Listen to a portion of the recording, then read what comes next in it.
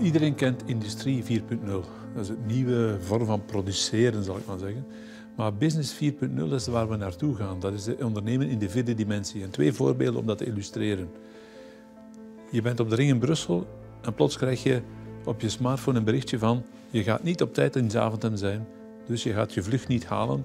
We zullen je al een nieuwe vlucht boeken. En wees gerust, u zal op uw bestemming aankomen, maar met een ander vliegtuig, met een andere vlucht. Een ander voorbeeldje. In de toekomst gaan we meer naar deelwagens. We gaan een wagen gebruiken op het moment dat we hem nodig hebben. En dat zal impact hebben op je HR-afdeling, op je marketingafdeling, op je financieringsafdeling en natuurlijk ook op je productieafdeling. En we willen aan de hand van een aantal cases, van een aantal goede voorbeelden, de business community wakker schudden. We gaan hen alert maken voor de pijlsnelle veranderingen die er door technologie in de komende jaren zullen plaatsvinden.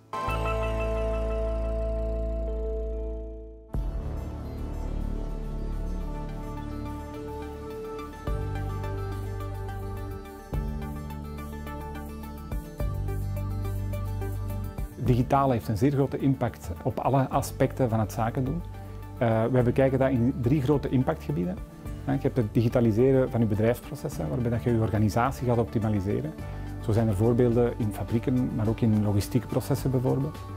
Anderzijds heb je het digitaliseren van je product, waar dat je eigenlijk unieke kenmerken aan je product kunt gaan toevoegen en zo unieke toegevoegde waarde.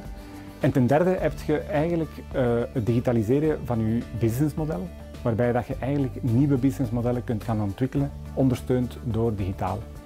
Uh, daarbij is eigenlijk belangrijk om te zeggen dat een bedrijf steeds moet vertrekken van haar strategie naar doelstellingen en dat de technologie een enabler is om dat mogelijk te maken. De maakindustrie zit volop in de overgang naar Industrie 4.0. Een fabriek van de toekomst transformeert op verschillende vlakken. Het gaat natuurlijk over flexibele automatisering, over moderne technologie. Maar het gaat ook over uh, human-centered production, waarbij dat de plaats van de operator, van de medewerker in het bedrijf heel belangrijk is. Uh, de Keizer Ossaar is daar een, voorbeeldbedrijf in. Maar het gaat ook over de genetwerkte fabriek, waarbij dat bijvoorbeeld een Reiners Aluminium samenwerkt met zijn partners via een digitaal platform eigenlijk heel efficiënt uh, de ramen gaat ontwerpen en gaat installeren bij zijn klanten. Ook in zaken productinnovatie kan de maakindustrie inspiratie opleveren. Mass customization is een van de tactieken die toelaat om een product uh, extra toegevoegde waarde te laten leveren.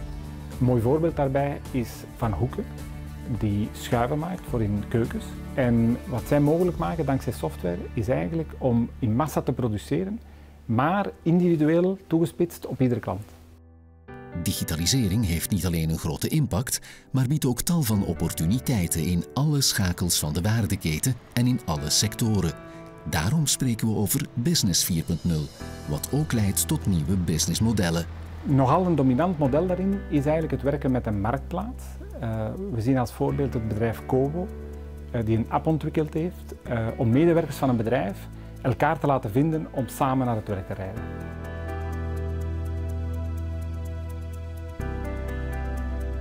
Van Business 4.0 een succesvolle toekomststrategie te maken, is een geïntegreerde aanpak nodig in het hele bedrijf. Eerst moet je eigenlijk goed nadenken. Wat zijn binnen alle mogelijke denkbare tactieken degene die voor uw bedrijf eigenlijk het meest relevant zijn? En dan dient je een change traject uit te zetten, waarbij dat alle afdelingen van het bedrijf betrokken zijn. Um, en daarbij raden wij aan om altijd step by step te gaan, trial and error, kleine stappen kleine experimenten die u toelaten om uw traject eigenlijk uit te bouwen.